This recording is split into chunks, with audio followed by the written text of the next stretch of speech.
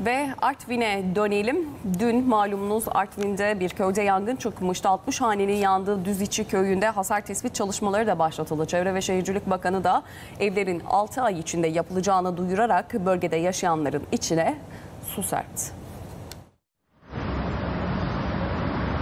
40 dakika içerisinde her tarafı sardı. Evimiz yandı işte her şeyimiz yandı. Ne bir Adan Z'ye kadar gitti. Kor sadece evlerine değil, yüreklerine de düştü. Yangının söndürüldüğü köyde sıcak yuvalardan geriye kül kaldı.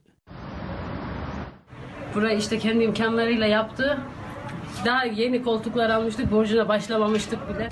Artvin'in Yusufeli ilçesine bağlı Dereiçi köyünde bir evde başlayan yangın, köydeki 60 hanenin ve ahırların yanmasına neden oldu. Yangın sabah saatlerinde tamamen söndürüldü.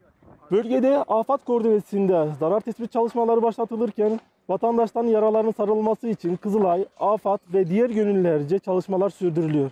Çevre ve Şehircilik Bakanı Murat Kurum da yanan 60 evin yerine 6 ay içerisinde ahırlarıyla birlikte yenilerini inşa edeceklerini duyurdu. Artvin Valiliği de bölgede yaşayanların zararlarının karşılanması için ayrıca 1 milyon lira destek sağlayacak.